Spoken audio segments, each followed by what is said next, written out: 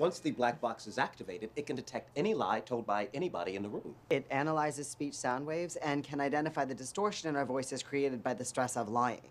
And it doesn't work at all. See, it does work. I never had any doubts. Okay, I had a small doubt. Okay, every day I am incapacitated by fear. I don't know where the magic comes from, and I'm terrified that one day I'll wake up and it will all be gone. And I'll end up alone, living in my brother's basement with his trains. Buzz, damn you! Meanwhile, back at a place of business. Since we're marketing this for the military, we have given this project our top level security clearance. Currently, we're the only people who know about it. All right, I told my shrink. He says it's because I want him to think I'm important. Let me try. Every spring, on a remote island, Sean Connery and I hunt the most dangerous game man. I've also poisoned one of you.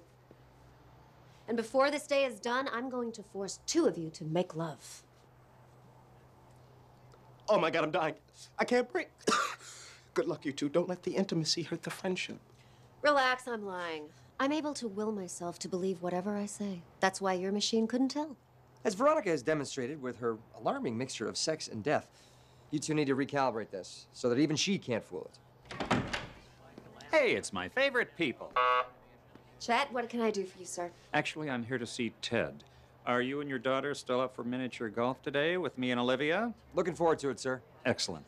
I've got my clubs and I am going to beat you. Oh my, that didn't come out right. Don't worry, I've never hit anyone with a golf club. At least not on purpose.